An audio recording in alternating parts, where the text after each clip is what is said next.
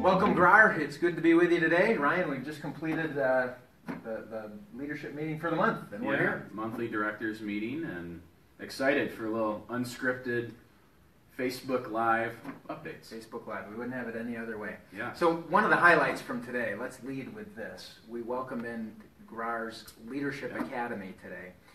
And so, uh, many of the people who are taking part in that uh, growth, learning, leadership experience uh, joined in. And not just to observe, but joined in the discussion. too. Actually, what I really like today is, you know, having the Garland members see what we do on a monthly basis, what's happening behind the scenes on behalf of, you know, our real estate members. But they actually participated. They, Yep. they put valuable input and comments and, and weighed in on topics, and so that was that was fun. Yep, Good good, to have 'em good, good input. Uh, the other thing that recently happened for many directors is we returned from national meetings, both at Real Trends in Denver, Yeah. T3 in LA. What were some of your takeaways from that? Yeah, I mean, I have pages of ahas from Real Trends. One, I'd just like to thank GRAR and, and then let people know, you know, part of serving as directors is we go to national conventions like this to gather good information and, you know, hot topics and trends throughout the country and bring them back and see how we can apply them at GRAR, how they might affect our members. So, very thankful that I could go to that. Um, you know, I think the big one, and I'll mention it because there's always controversy, is Zillow. We got to sit and talk and listen to the CEO of Zillow, Spencer Rascoff, and he made a very important um, note and point of saying that they do not want to replace real estate agents. So whether you believe that or not, he said it, whether he's telling the truth or not, but I'm here to report what the CEO of Zillow said. They want technology to be a support system and in addition and a complement to real estate agents in that service. No one at that conference thought the relationship part was going to go away. Technology cannot replace the relationship part of real estate agent has with their client. So it's just important to know that we're the customer of those big companies. They make all their revenue off of us. If we go away, they go away. So I think we're safe for anyone who thought maybe our industry was going to go away. And that client relationship is a big part of the value that we continue to carry Big forward. part of the value. Good. De- definitely. Uh, so we heard a report from the Forms Committee as well today. They continue to work at getting purchase agreements, listing agreements ironed out in the best ways possible. Uh, a lot of those changes won't come immediately to the floor, but it, it serves as a reminder to me to remind all membership that there is a new 2017 West Yes. Michigan purchase agreement. So um, uh, Yes. make don't sure don't that send us a 2009 offer on our list or 2009 purchase agreement. Yeah. That's 2017. It's out there. It's on grar.com. Yeah, it's on that Member side, signs dot loop. forms, uh, it's on all the platforms. So, uh, keep, keep looking for that if you haven't found it yet. Definitely.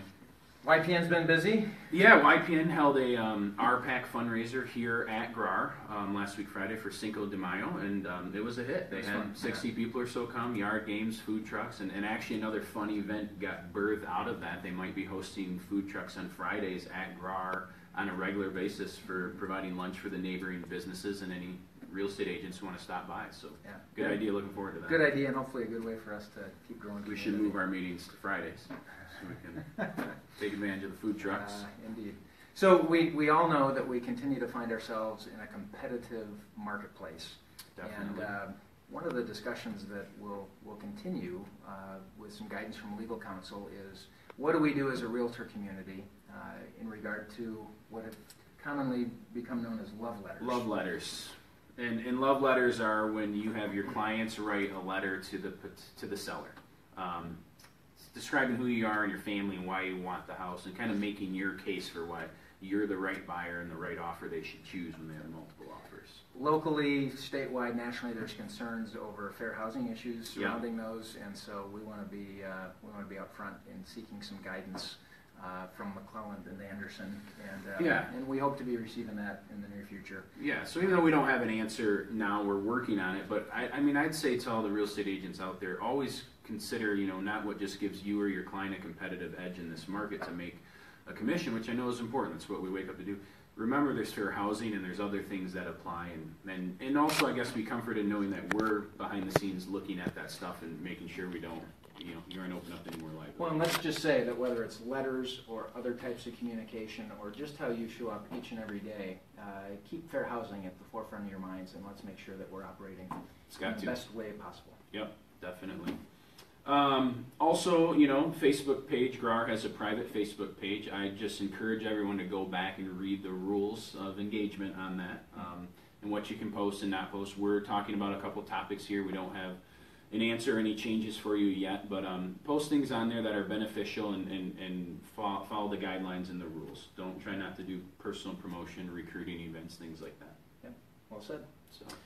And I'm going to give four letters here MRGR,